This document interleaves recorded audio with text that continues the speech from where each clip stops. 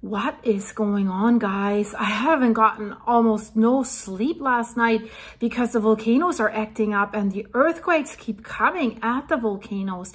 And we have to talk about Campi Flegrei because this is very very unusual.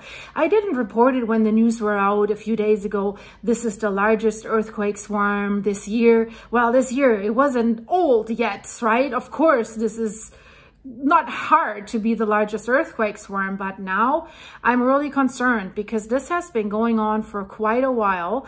Uh, let's have a look at the list of the earthquakes first. So what you see here, it's not that we're seeing like what we're seeing in Santorini in the four ranges, five ranges, but it looks similar to what's happening in Santorini in terms of non-stop. It doesn't stop. Usually Campi Flegrei did it like for a day or two or three days and it was quiet. Then Vesuvius did a little bit maybe, but now it's been continuously rumbling. So if you look at the latest earthquake, that's 2.0. And again, what we're seeing in this list is only what's above magnitude one. So there's smaller ones as well. So there's way more earthquakes. What is interesting for us, the depth is shallow and the magnitudes for magma that's on the move that usually doesn't go that high unless we're seeing something really, really bad. So this is an indication that something is moving underneath. So let's have a look. The 2.0 here, that's the latest earthquake. Um, that's the epicenter that we see here. Um, Naples, right? Pozzuoli, Bagnoli, this is where the epicenter is. Here we have the Solfatara area. That is the most active area right now with lots of fumaroles coming out and uh, steam coming out. And basically the epicenters are always centered here in this area. And you have to understand how densely populated this is.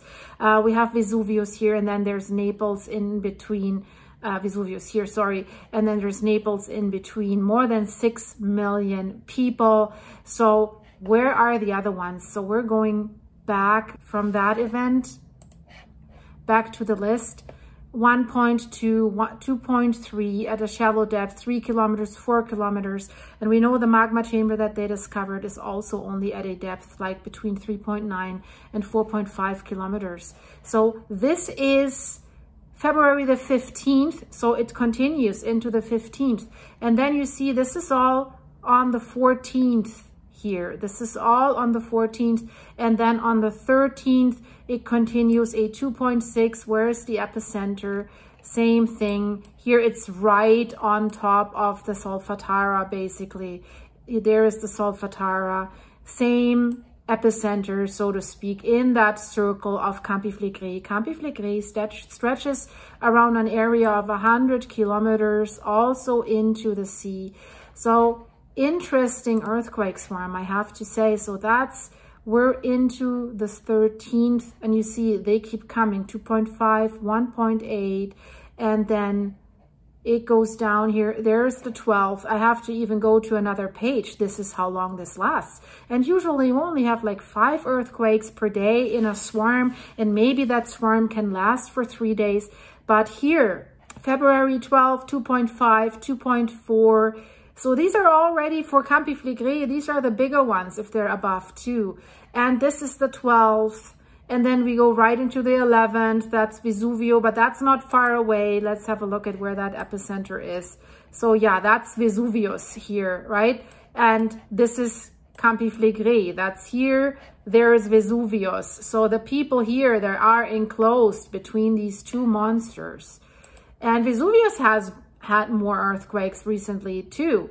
But here, continuously, the 11th, February 11th, it continues, it continues, it continues.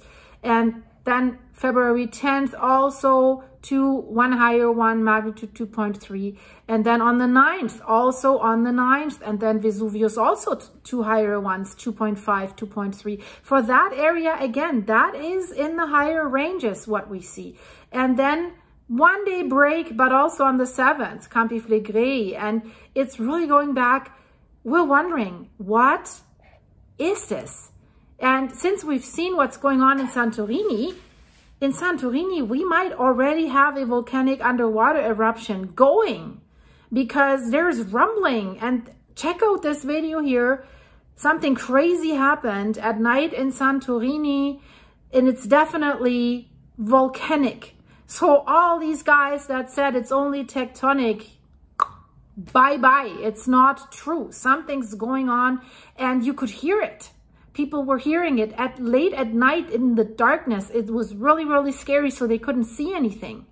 But they saw this massive, massive earthquake swarm where scientists said it's a change in pattern. So check out this video. I don't want to repeat it here because that is Campi Flegrei. So the strongest earthquake of this massive, massive swarm was a 2.6, roughly at a depth of only at a shallow depth of only two kilometers. This is unusually long lasting and it continues into the early morning of February 15th. So there is no break, no rest. And we have already over probably 130 earthquakes that have been felt in the area and people feel them because they are so shallow. So it's unusually intense in terms of duration. And also we see these above magnitude two quakes. What is strange is we don't see that the magnitudes are ascending like we've seen in Santorini. So we've seen a certain number of twos, then it went into the threes, then it went into the fours, then it went into the fives.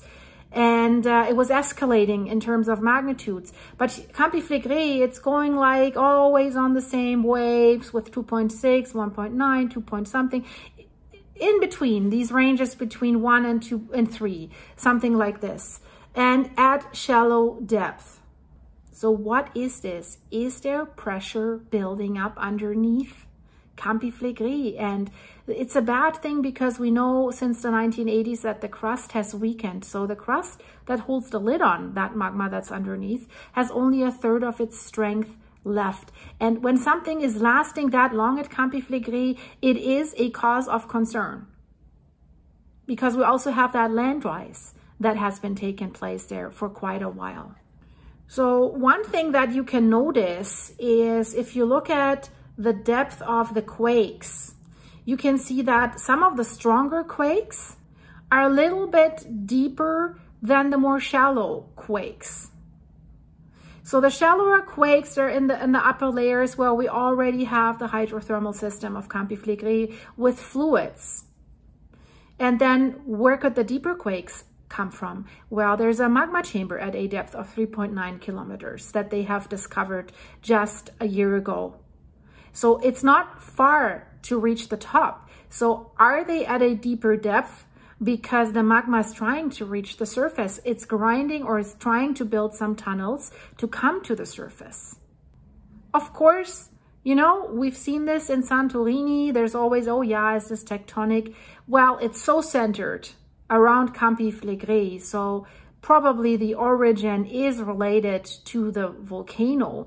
Um, but since there are fault lines and tectonic forces in play, um, there's always cracks underneath the surface. There's fault lines, there's cracks where Campi Flegrei is on top of the magma chamber. And if there's fluids around, they could use these cracks to, to fly in there and fluid could rise through these cracks because if the if the top is getting more brittle fluids can ascend they can come up in this. And we know that the caprock layer is more brittle since the magma intrusion that happened in the 1980s so there is room. If if rocks are broken there's room for these hot fluids to rise up and of course for the magma to rise up. And of course this is also causing rumbling and we have a steady land rise there with one centimeter per month. Last year in April, it switched to like twice that much, two centimeters per month. It has then come down again.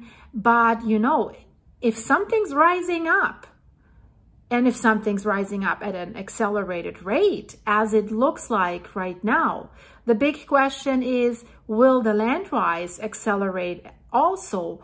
Together with these earthquakes, will we see a higher rate of land rise? And what they're saying, this is called bradyseism. This land rise, combined with these earthquakes. And that has already began in 2005. And since then, the land is rising at a steady rate. Something's blowing up underneath the surface with a constant rate. So it has, right, about um, a meter 42 142 centimeters. So if you do a really big stretched step, that's how much the land has risen since 2005. And since they have found that magma chamber at a shallow depth, and that magma chamber is filling up from a deeper magma reservoir, that magma chamber is most likely the reason for that land rise. If you know what's happening in Iceland, same thing if you blow up a balloon underneath the crust, the crust is lifting up. And that's what's happening here. So